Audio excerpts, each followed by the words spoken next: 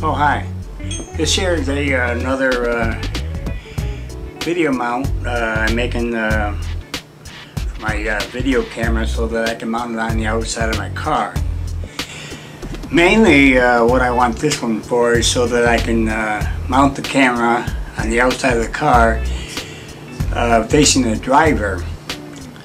I'll also be able to mount this on the passenger side to get a shot of the passenger and the um, driver at the same time or just the passenger. Right here what I've done is uh, I've taken a piece of fence board that's uh, 6 inches wide and uh, I've got it about 18 inches long and uh, what I've done is I've bought two uh, 4 inch angle brackets and I've mounted them uh, with a uh, bolt, about a 3 16 inch bolt by um, about 2 inches. I mounted them on the board here, tighten them down, and uh, then I bought this here 8 inch uh, shelf bracket which I'll be uh, mounting like this on the uh, outer edge of the platform. So it acts as a brace.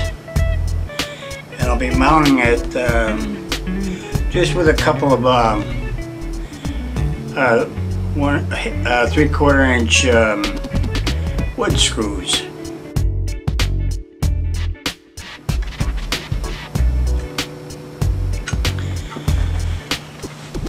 I've also uh, put a screw up here at this end, uh, hold it.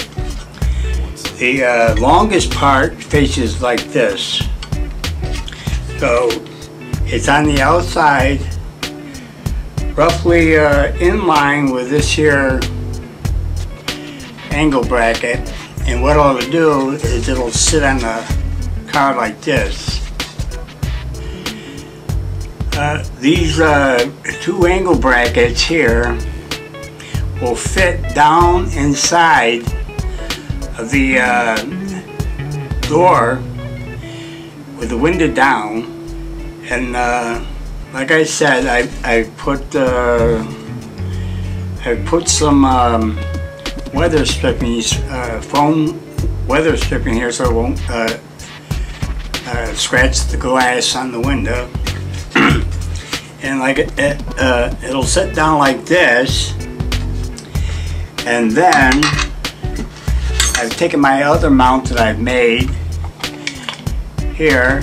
I've shown this before in another video which I used to mount a different type of uh, um, uh, uh, camera so I can mount it on the outside of the car. What I've done is this will go on the window like this and then this here slip over the uh, end like this and uh, be secured with a, a, washer and a ring nut. This here mount will be uh, mounted to the door underneath like this. And then of course my camera will be mounted up here like this facing towards the uh, uh, driver's window. So um, that's it. I hope it, uh, hope it works out.